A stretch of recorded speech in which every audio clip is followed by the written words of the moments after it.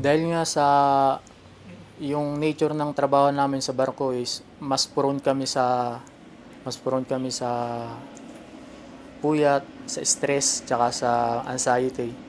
Kaya kumbaga kailangan namin maghanap ng outlet para malabas yung depression namin. Kaya doon namin in- ako, yun yung ginawa kong outlet yung paggawa ng arts.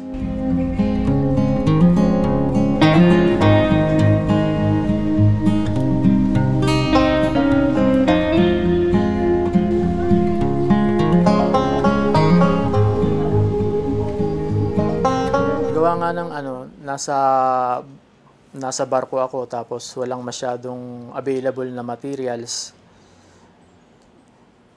Eh, mahilig nga akong gumawa ng mga portrait.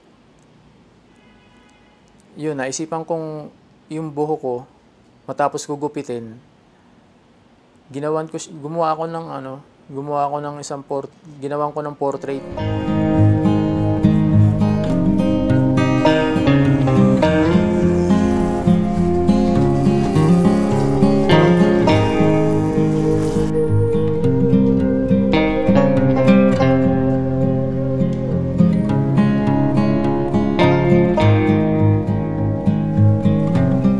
Pagkagupit ko nga ng buko, inisip, ginupit-gupit ko pa ng mas maliit para mas madali nga makagawa ng portrait kasi pagka yung mas maliliit yung strands ng buhok, mas madali kang mag-tonings tsaka yung mag-outline ng portrait na gagawin, mas madali mag-control.